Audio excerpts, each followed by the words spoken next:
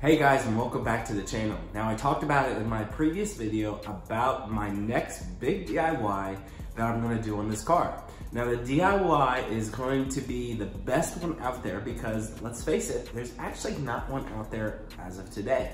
Now with bringing in a good DIY, you have to have the products behind it so that way it supports an easy install, there's no issues, everything works, all that.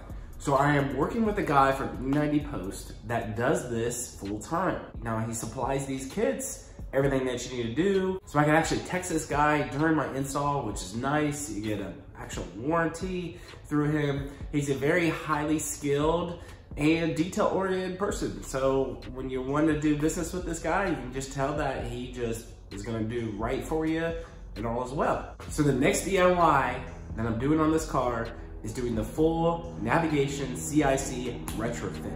That includes the screen coming out, the navigation unit coming out, all the other different uh, pieces that you have to do to that. But what's cool about his kit is that you don't need an emulator, so you do that. Uh, and a few other tricks of the trade that he's able to program it to my VIN, so all is well. He has to do a little programming, but that is actually included in the kit that you buy from him. So he includes your KD cable for you, includes your coding for you, all that's wrapped up in one price. Now I'm working with him on what that price will be, so I'll share that when I do the DIY install.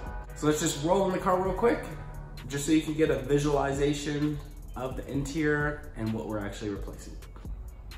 All right, so going into the car here,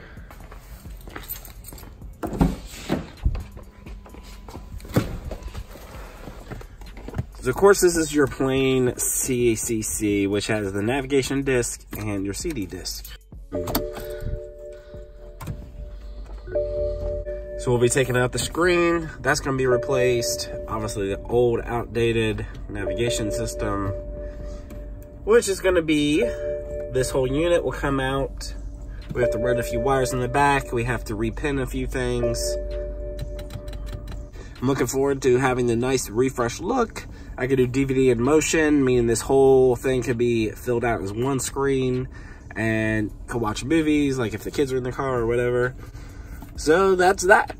All right, guys, that does it for today. The next DIY on the BMW E90, full CIC retrofit. It's gonna be nice. It's gonna look so much better than the regular CCC that is on the pre-LCIs that you have today. It's gonna be a great upgrade, be able to bring a great DIY step by step so you can do that. And it's gonna have the right products and you'll be able to get it from a guy that actually does this full time.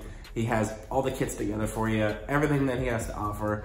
So more updates to come on that as I'll share the pricing and everything else like that. But I'm looking forward to this DIY. Big thumbs up on the video, subscribe if you haven't already. Check you later, see ya.